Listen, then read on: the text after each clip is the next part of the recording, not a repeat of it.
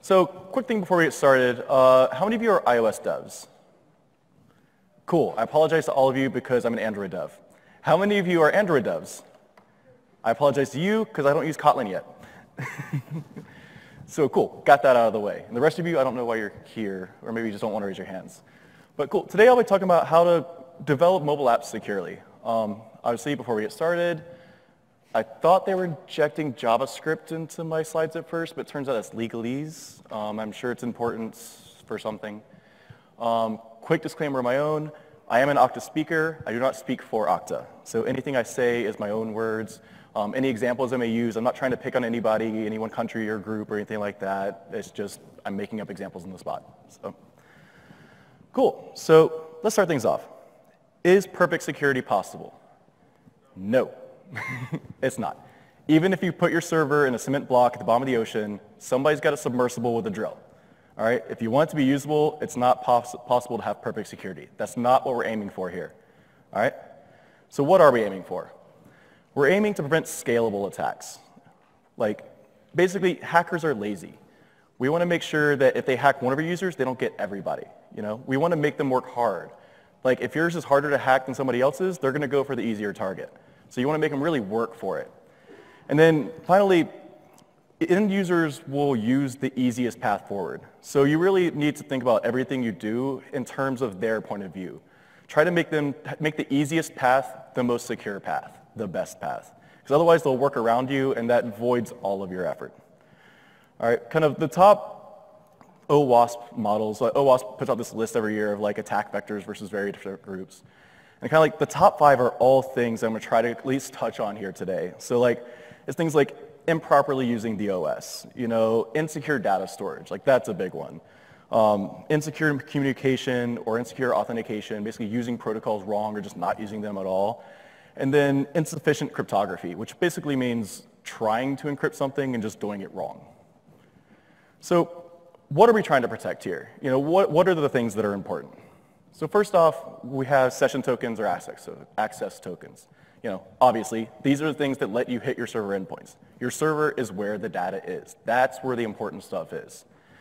All right, and kind of along that same vein, anything that can get you an access token or a session token is just as valuable as the actual session or access token itself. That's like something a lot of people forget and something you really need to keep in mind. Thirdly, especially these days, more and more government regulations are out there like GDPR or all these other things popping up in various US states. Like PII is just as valuable these days because also kind, kind of tying into that second point, PII can be used to get a session token. You know, everybody has that forgot password flow or that forgot username flow, and those tend to fall back on PII to kind of determine who you are. All right, and finally, you're all making your own applications.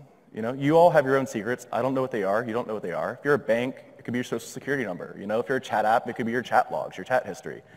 Like every app has their own secrets. Um, also, a few of the things I listed here are some things I'm going to touch on in a minute. These are things that are key to your mobile code or should be that also are secret or at least pseudo-secret. Things like cert pinning, uh, tamper detection, obviously usernames and passwords. I'm going to say this every time I put username and passwords on here. Don't store these on disk, ever, okay? Um, and then obviously API tokens, because again, accessing things that are secret. So I think there were other talks about this. I'm just putting up here real quick. I'm not going to go into OIDC, but some of you may not be familiar with the flow and the things come out of it. These are things I've kind of been referencing. So I wanted to show a quick little common use case flow. Um, so here, and the client will talk to the server and be like, okay, hey, I want a code, an ID token, and I want offline access. The offline access especially is common in the mobile perspective because you don't want to have to prompt for username and password every single time you go through. And then the server endpoint will return back the ID token, the refresh token, and the authorized code. So that authorization code, you then go to a token endpoint, which could be the same server, could be different. It really depends on what resource is being guarded. Um, and use that authorization code to get another ID token and access token. So this is a very common OIDC flow, and these are kind of the important things you get out of it. So like a common use case would be you're a chat app. You know, you want the user to sign in. You're doing, say, Google's OIDC login. So you kick out to a Google server for the authorized endpoint. You say, hey, I want a code so I can get an access token, this ID token so I know what their profile is, who I'm talking about here. And then offline access because I don't want them to have to sign in every single time they open the app. All right, and then you get the flow code back, go to the actual chat server endpoint and be like, hey, I want to get the chat logs, here's my authorization code, give me the token for this. So I kind of mentioned these real quick. I'm going to go into it real quick. Like, what are the important things I'm getting out of this flow? You know, these are the secrets we're trying to protect. These are the important things. So first off, that authorization code I mentioned, this lets you get other tokens. This lets you get access tokens. This lets you get ID tokens. So that's something you need to protect. You know, anything that lets you get something else, got to protect it. All right, the access token, obviously, this is the same as the session. This lets you actually get the chat logs, get whatever information you need, whether it's profile information, chat logs, chat history, yada, yada, yada. All right, that ID token, this is something specific to OIDC, so you may not be as familiar with it if you use OAuth typically. Um, but this ID token typically has a lot of information about the user, various claims. It's very customizable depending on whatever server flow you've created. Um, so this ID token is something that contains a lot of PII data typically. So it's not really something you should be passing around a lot. Just get it once, use it for yourself, and it's not like don't send it on every request because you don't really want to add to the risk. Um, and then the refresh token. This boy, this is the important one. So the refresh token is what, the purpose of it is to be kept on disk. It's to be kept around so that you can get access tokens later. So this is the one I'm going to try to kind of focus on for a little bit here because this is important. You want to keep it around, but it can get you access tokens. So that's that second point I talked about earlier of anything that can get you something else is just as important as what you're getting. So, but before I really get talking about how to protect it, first, like, what are the things I shouldn't be doing? You know, what should I avoid? First off, and this is something I see surprisingly often, never hard code secrets in your code. Your code is deployed to an OS. That OS has to execute the code. That means by definition, anything in your code can be reverse compiled because otherwise Android or iOS would not be able to execute it.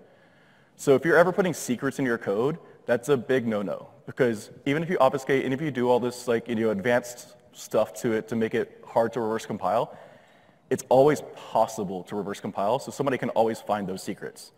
And as soon as the secret's lost, it's not a secret, and it has no value. So another one don't store anything on disk that's a secret in clear text. You know, obviously this is the big thing about the refresh token and other stuff. Um, this is the obvious one, you know, don't store things in clear text. Second, be really careful about allowing secrets to be backed up to the cloud. So the problem with here is not like that I don't trust Google or Apple, it's that I don't trust Google or Apple. So like, we don't know what they do. It's a black box. You know, we don't know if they cache these on the phone in an unencrypted manner. We don't know how they store them on the server. Like, you know, there's that big thing a couple years back where NSA tapped into all of Google server-to-server communications was unencrypted. Like, we don't know if they're doing that. So it's really best to just avoid backing up secrets at all. You know, back up non-sensitive data, sure, that we have that nice continuous user experience, but let's try to keep the secrets a little more sensitive. Let's try to avoid having those backed up. Um, don't try to create your own encryption algorithm. I'm not a PhD in math. I know PhDs in math who also don't want to create their own encryption algorithms. Like these things are tried and uh, tested. Millions of people try to hack them every day. Like trying to roll your own is just a great way to invite disaster. Like the math here gets really complex. It's just something you should try to avoid as a data developer. Go with the defaults. They're good enough. You know, it's fine. And then finally, try to avoid sending data over unsecure connections. You know, and I'm not, not talking about just non-SSL internet connections here. I'm also talking about like Bluetooth, NFC, you know, Zigbee. All those like local communication wireless patterns, those are unsecured typically, so you really shouldn't be passing things over them. Like right now, I guarantee you, if I had my phone in Bluetooth mode and I was broadcasting signals, there's at least probably eight people out there sniffing just for fun. So try not to send anything over unsecure communications. Okay, but Hans, you say like storing things on disk in clear text is bad, but like, you know, all modern OSs, like they're sandboxed, you know? iOS, strong sandboxing around apps. Android, just as strong, especially more modern versions of OS. But like, it's completely worthless as soon as the phone is rooted or jailbroken, all right? Because anything that has super user access, like Android specifically, like it's Linux user permissions. As soon as an app has like super user permissions in Linux, they can change whatever access they want. They can see anything in clear text inside your user profile, inside your user permission space, inside the OS itself. So like it's, it's just all the sandboxing goes out the window as soon as it's jailbroken and rooted. So as long as you plan on running a jailbroken and rooted phones, like it's really something you should avoid. And a lot more phones than you think are jailbroken or rooted. All right, so have you ever heard of Heartbleed? And some of you may not. Like it was kind of a niche thing, but a big deal. So like a, like a couple years back, SSL itself broke. This thing called Heartbleed, you know, and it was basically down to like this really subtle, like race condition kind of thing in the code. And like that kind of brings up my point of like, OSs are extremely complicated. There's always undiscovered bugs. There's always undiscovered issues. Like, no matter how hard you try, no matter how sound you make it, there's going to be something that some clever attacker is going to find. So you shouldn't trust the OS to maintain its sandboxing. Like, there's probably at least a dozen undisclosed vulnerabilities out there right now that we just don't know about, or we know exist but don't know how they do it. Like we know that the NSA has a couple. You know, we know that Israeli research firm that helped out the FBI for that San Bernardino incident. We know they got one that still to this day we don't know what it is. So you can't really trust the app sandboxing. So Hans, you're being really paranoid here. Yeah. That's our job. We're supposed to be paranoid. You know, if you're developing in a secure manner, paranoia is like your baseline. That's your standard line.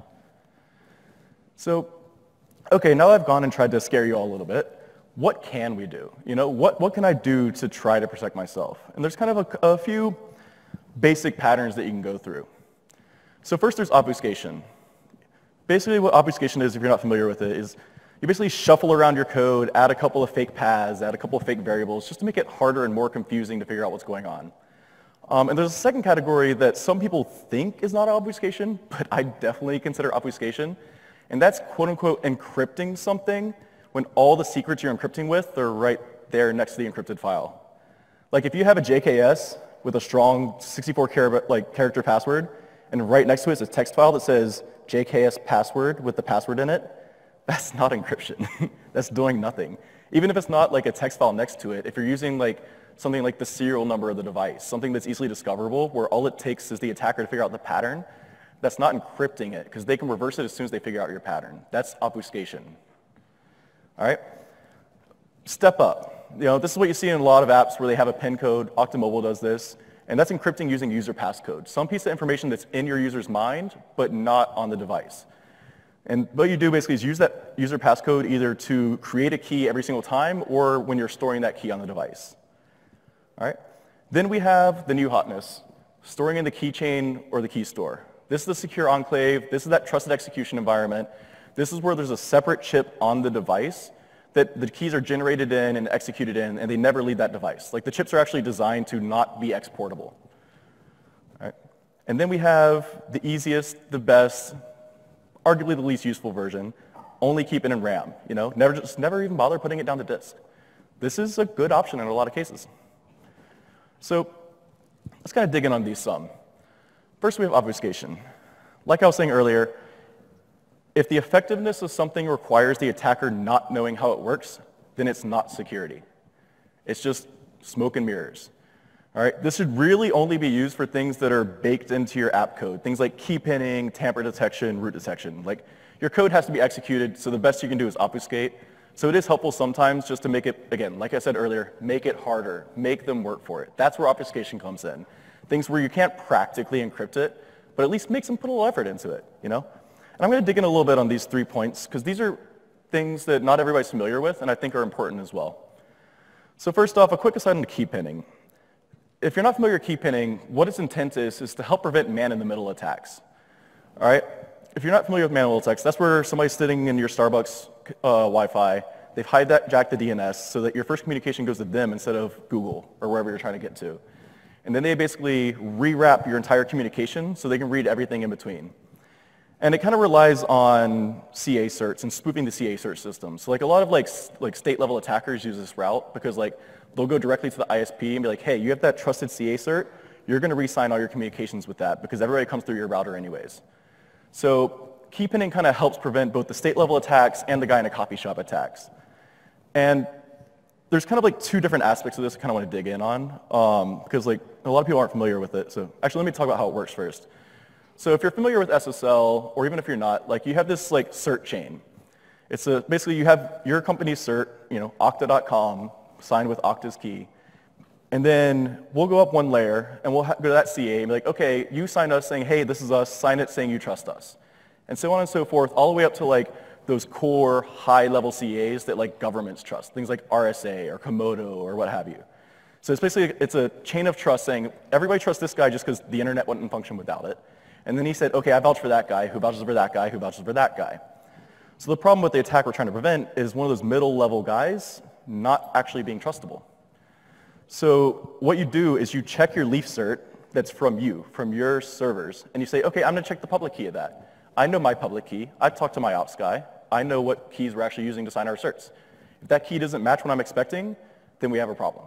That's the core of key pinning. So the trick there is that how do you get that public key? You know, where's that public key come from? That public key, you have to have a list on the device somehow so that your phone knows what public keys to check, like what is coming from our ops guys. And you should use a list because say an ops guy leaves or you know, your CA cert's expiring. You should use a new key every time. These things rotate over time for a variety of reasons. So you kind of want like a backup list so your apps just don't all break every time an ops guy leaves. So you have a list of them. All right, but how do you get that list? Where does it come from? There's two approaches. One, bake it into your app code. That's where the obfuscation comes in. You know, you have this hard-coded into your app, and that way every single connection checks that list of keys that's in your code, and if it doesn't fit, throw it out. All right? The downside to this is it requires your users updating your apps. And I don't know about you guys, but getting users to update apps, surprisingly difficult. so eventually they'll kind of fall out or be vulnerable as you rotate keys, because those bad keys will still be trusted by them. But the upside is every single connection will have it. It's there as soon as they install the app. The other approach is a trade-off. It's a much more updated way to do it, is the first time you talk to your servers, you say, hey server, along with your response, give me the list of public keys that you should be trusting. All right? And it sends back a list. And you just like put that list, and encrypt it onto disk, you know, do whatever goodness with it. And that way, you can keep that updated much, even on old code, much more frequently. But the downside is you have that one untrusted connection. So really choosing between the two is up to you. It's up to your use case. What's your tolerance? What do you feel like going with? It's, it's a trade-off. Um, and the two styles I mentioned here is there's kind of two ways to do it. It's either open pinning, where you only pin against your sites, and if it's not your site, you're kind of like, well, let's just let it go and trust it and see what happens. This is good for like if you use like a lot of metrics in your app or like third-party services where it's calling like Firebase or it's calling Apple servers and you don't know Apple's public key, you know, you don't know Firebase's public key. Um, but the other option is closed options where you know your app's only going to be talking to your own servers. So if you're ever talking to like a different server, that in itself is something you should be alarmed about. So there you just use closed pinning. Be like, if I don't recognize the domain at all, like just, just throw the whole thing out. Just get it all out the door. All right? And I'll try to be quicker about this one, but tamper detection is basically trying to tell if your app's been rewrapped. A common attack pattern uh, is to go through every app in the App Store, every app in the Play Store, download them, just put a quick little script that like injects something into it so they can track them, and then upload it as a new app. So tamper detection helps prevent that. Basically, you're just trying to check to make sure your app's not modified, and you just check the hash of the code in your app against like what it actually is on the device, and like you know you hard code in what the hash should be, and just compare the two. And if it's not, you know, flag an alert or break the app or whatever you want to do. Um, it's pretty easily bypassed, but it's great for those script kiddies who just run a script against everything in the store. And then root detection, as Apple says, root detection is impossible. That's Apple's official stance. Because it basically is. There's so many ways you can do it, and like by definition, if you're getting something rooted, is something the OS maker didn't intend anyways. So it's kind of those chicken or the egg problems. Like you can't permanently detect it. You can try, but it's the best. It's a best effort thing. Um, and basically, some people do it to try to take defensive measures or stuff like that, but it's difficult, but still an option for some people. So okay, let's get past obfuscation. Let's get on to like the real stuff, the stuff you care about encrypting things on the device. Any of those secrets like the refresh token. So user passcodes, great option. Um, slightly more complex to implement. You know, it takes effort. You have to add a whole UX flow for this. You have to get a pin from them. You have to have pin creation flow. You have to have recovery flows. Um, it's really only useful for things that exist while your app's in memory. So if you have background operations that happen a lot, you don't have a pin while that's happening or while that's going on. You know, it could have been six hours. You know, you don't have that in RAM still. So anything encrypted by it, you can't really get access to. So it's only good for your flows that are only available while the user's present and actively in your app. But it's very useful for those flows. Um, a side note, when you're doing it, definitely have a brute force prevention mechanism in there. Don't let people just guess a million pins because, you know, common use cases, not that complex of a number space. You know, you're probably doing like six digit pins or something like that just for, because there is a usability trade-off. And then, but it is reasonably secure, you know, depending on how long the passcode is. It's, it's not bad. So how do I do this? All right, here, high-level method. Hopefully you can read the code. I know it's a little bit small for you guys in the back. Um, I'm sorry, guys, not Kotlin. but first step, generate a random AES key. All right, you need something to encrypt things with. And then after that, and that's the, I'll dig into this method in a minute, but you store the key. This is where that passcode comes in. You're storing the key with the passcode. The passcode is not really there for the rest of the encryption algorithm. Um, but I do want to go into like the rest of the encryption algorithm just for those of you who aren't familiar with it. So you initialize the cipher, and I won't really go into this method because like there's a million examples online. It's like fairly standardized, but you initialize a cipher and you get two things out of it. Well, two things to create it actually. You get the cipher itself. This is what will do the encrypting. This is your encryption cipher. You know, there's a couple different options. You can kind of look online for good examples. But this IV um, stands for initialization vector. This is there to prevent that second point I had back in that goal slide, scalable attacks. All right, this initialization vector means that every single thing you encrypt starts with a different seed. It's like when you encrypt something, it's just like a, a cycle over a bunch of bytes. And it kind of uses the, a little bit of the last one, a little bit of the next one. So this initialization vector means that if they happen to crack by accident one of your encrypted files, they can't just use the exact same thing against all of them. It starts you from a different point to kind of, it helps the math out. But it's not really a secret, you know? It's, it's like, it helps prevent the scaling. It helps them preventing every single thing you encrypt. But you, can, you have to actually store it on disk with it, because otherwise you can't decrypt. So that's why the rest of it, you know, you convert your data to the bytes, you do the encryption. But that last step is where the IV comes in, because you have to keep that around. So a common technique um, is to append that IV to the bytes of the encrypted file. Front, back, doesn't really matter, as long as you know what you did. All right, so typically you just kind of combine those bytes together, encode them base 64, there you go, you got an encrypted string. All right, so let's dig into the storing part, because that's the interesting part. So here's how you store the key. Um, the technique I'm looking at here is the slightly easier technique to implement, and this is where you generate a key store and use the passcode as the password of the entry in the key store. So that's kind of how you get the security aspect of it. So you make a salt, or get a salt, you know, depending on if it's the first time through or the second time through. Um, and then, because the salt, by the way, also finds a store. I'll go into the salts bit in a second. Um, but then you hash the passcode. And you hash the passcode in case somebody has like a bad passcode, in case it's a short passcode.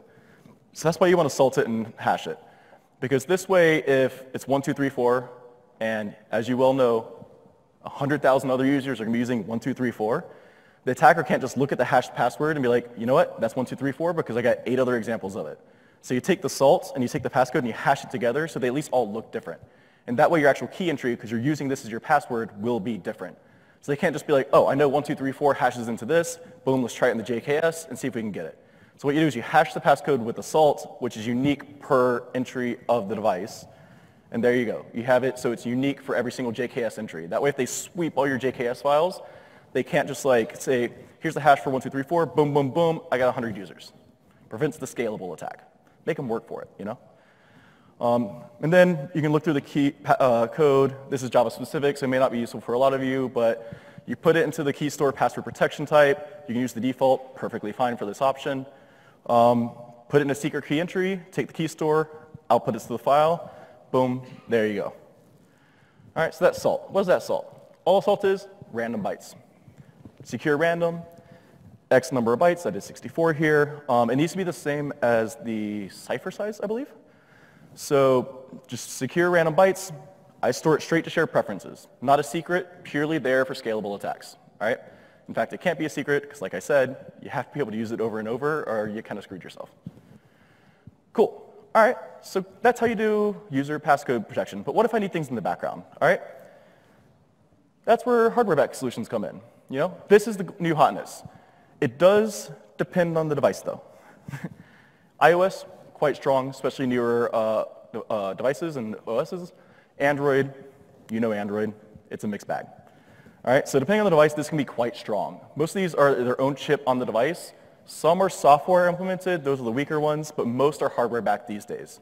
Um, this is actually a separate chip on the device. The key is generated in the device, never leaves the, the chip, and whenever you encrypt something, you actually pass that into that encryption chip and just get back strings. You never see the key yourself even.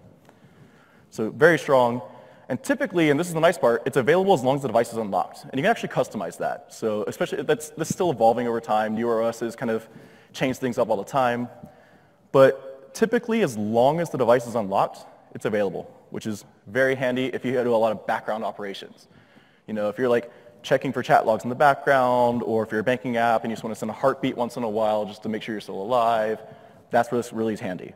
And it's the best you can get. You know, on a mobile device, it's about the best you're going to get these days because they can't export that key, they can't try to brute force it, they can't just like sweep the whole phone and do whatever they want offline.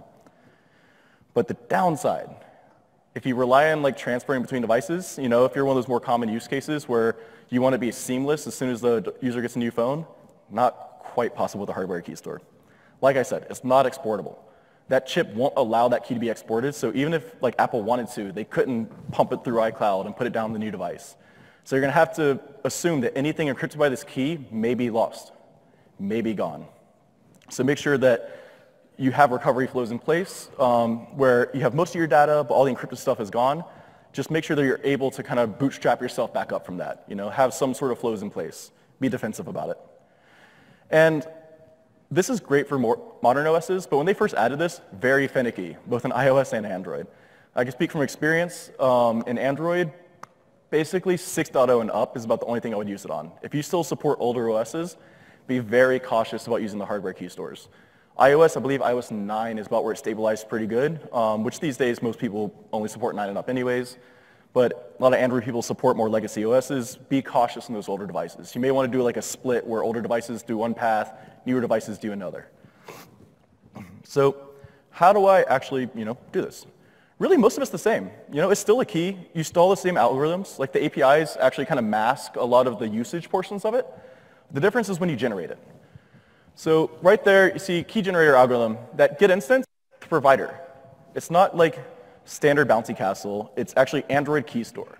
That provider is specific in Android for using the trusted execution environment. Apologies. Um, so iOS, similarly, it's, it's all down to when you generate the key, and then there's API wrappers around it for actually using it, which kind of masks all the nitty-gritty. Um, and there's two more important points here I kind of wanted to point out. And that's purposes. That's the first one.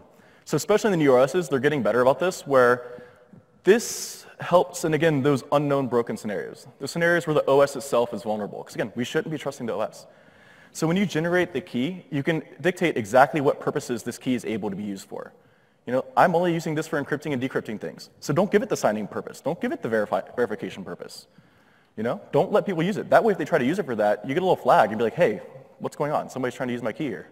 You know, same if you're only using this for signing like JWTs, just give it sign and verify. You know, there's no need to let people encrypt things with it. and then um, the user authentication required is the next one. So this determines when you can access the key.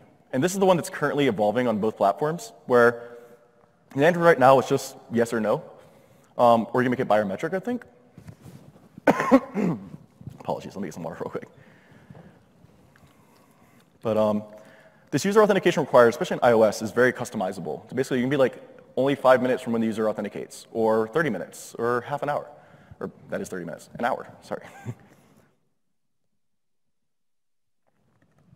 so that right there kind of sets your paranoia level. That's, that's kind of what that is very useful for. So say you, you know that in your app, you only want it being able to use like when you're active or something like that. Then be like, cool, only make it so that it's if the user is authenticated and recently, you know? Or this is for background purposes. You know, I'm just doing these background checks periodically. I don't really care like how recent it's been. Then just don't even require user authentication. You know, you can use it wherever. You trust the key store. We don't have to have it have been decrypted recently. Cool. So the last option I mentioned earlier is what about RAM-only storage? This is as secure as you can get. It's the best option. If they can read your RAM, you are beyond hosed. so it's really the best you got here. But it's really only good for things that are volatile because this is not something that you can bootstrap with. It's already been bootstrapped. You know, if you have the refresh token in RAM only, it doesn't really do you any good. because your app's not in RAM ter terribly long. This is really good for things like access tokens or like PII that's very small or you don't mind fetching often, you know, very volatile stuff. Um, or usernames and passwords should always be RAM only. Any passcodes, anything that's like part of the user given portion of your encryption flows should be RAM only because it's the safest, it's the best. If you don't put it on a disk, then it can't be read by anything else reading your disk. But wait, there's more. So there's kind of two more concepts I want to dig into that aren't really about uh, how to store things on disk, how to store things directly. So first is a client is only an expression of the server data. You know, there are cases where your client is generating data or has business logic to it, but you shouldn't really be storing the heart of your customer data on the client because it's, it's, you shouldn't trust these environments. So clients need to be reactive to the servers. You know, the server at any given time can revoke your access token. They can revoke your refresh token. They can revoke or rotate certificates. So you really need to always code in a very defensive manner. You know, expect the server to do weird things at any given time. Like, want them to. Like, that's a good thing. Having the ability to revoke these tokens is like very good from a security posture perspective. So you got to make sure your client apps are reactive to that and they respect that. You know, if they revoke a token, cool. Go to the sign-off flow again. And then have good sanitation. You know, rotate things often. so rotating things helps for those attacks where you don't know they're happening. You don't know it's happened yet. This helps make, makes kind of, say you had a bug in one version of your app, and, but the very next uh, app, you made some change without even realizing it, you patched the bug. You know? Or you patched it, but you didn't think anybody used it yet. Ro if you rotate things often, that really narrows the, limbo of, uh, the window of how useful that attack was. Because if you rotate, say, the refresh token every 30 days, you know, make the user do a full reauth every 30 days, that means there's only 30 days that attacker could attack your servers without you being aware of it. And then, like, cool, the next five years of Facebook's completely unencrypted passwords in a database, are not secret. or, or, sorry, not vulnerable. So that really rotating things often is a good thing, and you really should consider about any of your secret stuff. Any refresh tokens, any certificates, any signing keys, any keys used for encrypting data. You know, make the user rotate their passcode once in a while. It just really helps mitigate those undiscovered attacks. And then, kind of as we like wrap up here, if I forget everything else, I've covered a lot of territory so far in this talk. Like, what should I remember? Client code is always public information. If it can be run on an OS, somebody can find out exactly what's in your code, all right? Nothing secret should go in client code. Don't trust the OS or hardware. This is deployed code. This code's not in your servers, behind a VPN, behind a firewall, with only like, you know, advanced server access, gaining access to it. You know, these things are out in like who knows what OS, who knows what hardware, could be an emulator, you don't know. So don't trust it, you know, be defensive. Perfection's impossible. It's just not. Not if a user wants to use it. You know, make your attackers hate you. Make them work. Hackers are lazy, you know? Make them put some effort into it. Make it so there's another target that's a lot easier and is a better opportunity. That's kind of what we're going for here. Then don't let attacks scale. You know, ensure uniqueness. Every user should be unique. You know, every encryption should be unique. Like, if they can break one piece of your data and break all of your user base, that's a high reward, low risk scenario for the attacker because they get everything for one single break, one single user with a bad password. You know, make sure that if one user gets compromised, like everybody else is fine. Don't let it scale. That way, sure, they get that user's data, but they don't get everybody. They don't get everything. They don't take your whole company down. And then rotate things often. Have good sanitation. You know, look at the OWASP guidelines. You know, look at the NIST guidelines. Like just have good general sanitary habits about rotating things. And then, and this is something people forget a lot, which I really want to drive it in. If it can be used to get a secret, it's just as valuable as the secret. All right? All that PII data, those are effectively passwords. You know, all those things you see on Facebook where it's like, oh, if your birthday is this month, post this, and month is this month, post that, then you have some funny name. They're trying to get at your PII. They're trying to find your birthday. How many like recover password flows out there say, what's your birthday? What's your social security last four digits? You know, what's your grandmother's maiden name? So all that data is just as valuable because if they can reset your password, they have your password. You know, that's it. That's what you're trying to protect. So anything that can be used to generate a secret is just as valuable as the secret. And with that, I'd like to open up with any questions. I think we have a mic that we passed around. So.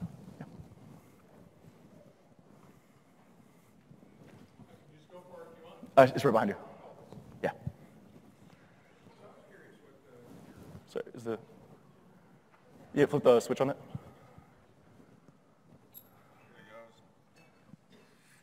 Okay, all right, Gabe. So I was curious what your opinion is on like modern MDM uh, container, in, let's say encrypted containers as far as the, say you're running everything out of encrypted containers and as far as, I mean, what your feeling is as far as the security level uh, and the trustworthiness of, like say AirWatch, uh, MDM container, uh, as far as, you know, that's another layer of security as far as like potentially if, uh, you know, if the device is compromised. Uh, what are your thoughts on that? I would say it's good, but I wouldn't say it's another layer of security. It's still, so in Android specifically, I can talk in depth about that. iOS is a different model that I'm not an expert on, so I'm not going to fully speak to, but the encryption they're using is the same as the device encryption. So if the device is already encrypted, it's not adding a whole lot, it's changing it.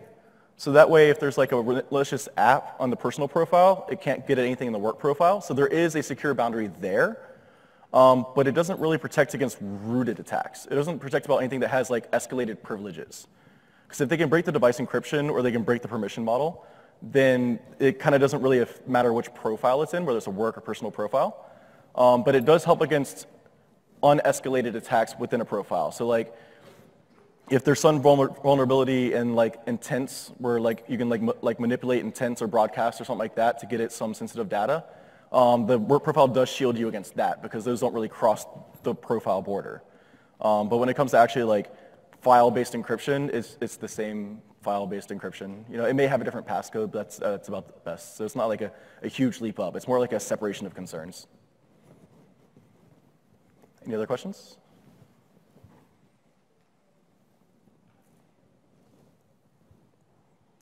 Cool. Well, if there's nothing else, um, I would like to thank all of you. Um, please like and subscribe. And thank you very much. Hope you have a great time.